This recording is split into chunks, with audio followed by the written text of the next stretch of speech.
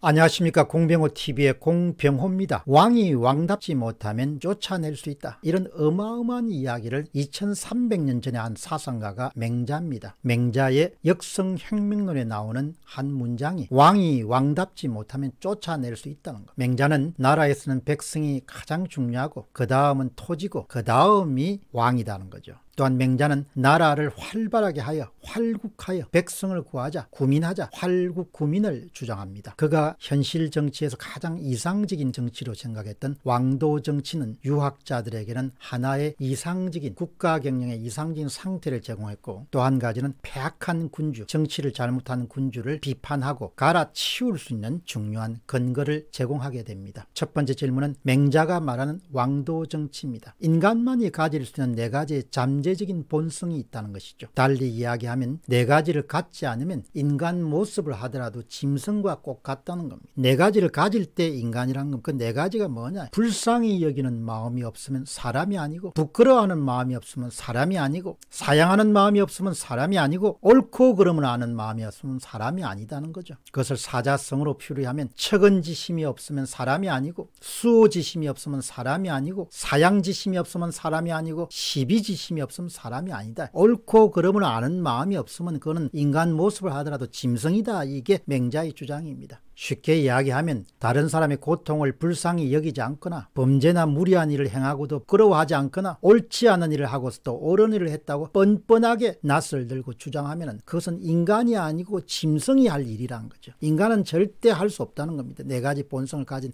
인간은. 맹자는 네 가지 인간 본성의 바탕을 두고 인간은 태어날 때부터 선하다는 성성스를 주장한 인물이기도 합니다. 네 가지 본성에서 각각 사단이 나오게 됩니다. 이 사단이 발현되어 나타내는 것이 바로 덕성입니다. 그것이 바로 인의예지입니다. 척은지심에서 인이 나오고 수호지심에서 의가 나오고 사양지심에서 예가 나오고 시비지심에서 지가 나온다. 사단에서 네 가지의 덕이 나오는데 그 덕이라는 것이 바로 인의예지다. 여기서 아주 중요한 주장이 나옵니다. 그가 주장했던 왕도 정치와 관련해서 아주 중요한 주장이 나옵니다. 사단의 근본적인 심성을 가진 사람만이 군주나 왕이 될 수 있다는 것이죠. 사단의 근본적인 심성을 갖춘 자만이 군주나 왕이 될 수 있다는 겁니다. 백성을 처근하게 여기지 않거나 백성에 대해서 잘못함을 범하고 나서도 부끄러워하지 않거나 타인에 대해서 양보하고 존중하는 마음이 없거나 옳고 그름을 구분할 줄 모른다면 그것은 인간도 아니고 왕도 아니고 군주가 될 수 없는 짐승이다 이야기 그게 바로 맹자의 핵심 주장인 겁니다. 남을 처근하게 여길 수 없거나 잘못에 대해서 부끄러워하지 않거나 타인의 대해서 양보하고 존중하지 않거나 옳고 그름을 가릴 수 없으면 그건 사람이 아니고 짐승이란 겁니다. 그런 사람은 군주가 될 수 없다는 겁니다. 왕이 될 수 없다는 겁니다. 그런 인간은 인간에게보다도 짐승에 가깝고 그런 인간은 결코 왕이나 지도자가 대통령 같은 직책을 차지할 수 없다는 겁니다. 다음 질문은 역성혁명과 저항권입니다. 국민의 저항권은 언제 발동될 수 있는가? 제 나라의 선왕이 맹자에게 묻습니다. 탕임금이 걸임금을 쫓아내고 무왕이 주임금을 정벌한 적이 있었습니까?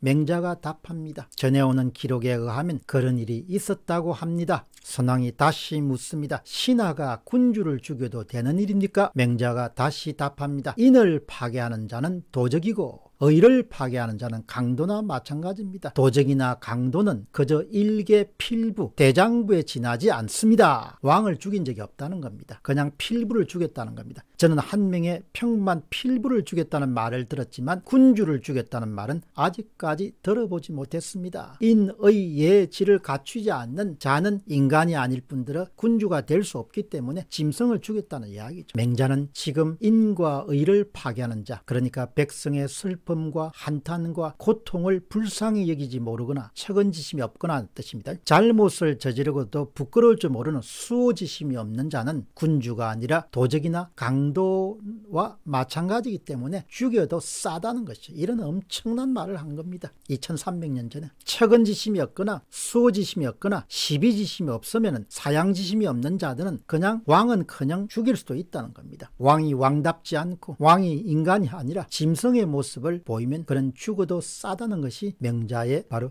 역성행명론입니다. 2300년 전 주장이지만 사람 사는 일은 그때나 지금이나 뭐 다를 바가 하나도 없습니다. 왕은 왕다워야 되고 장관은 장관다워야 되고 검찰총장은 검찰총장다워야 되고 서울중앙지검장은 서울중앙지검장다워야 되고 검사는 검사다워야 되고 가장은 가장다워야 된다. 왕은 왕다워야 된다. 그렇지 않으면 권자에서 끌려 내려올 수 있다. 이것이 2300년 전에 왕도 정치와 역성행명론을 주장했던 맹자에 근거하고 있는 주장입니다.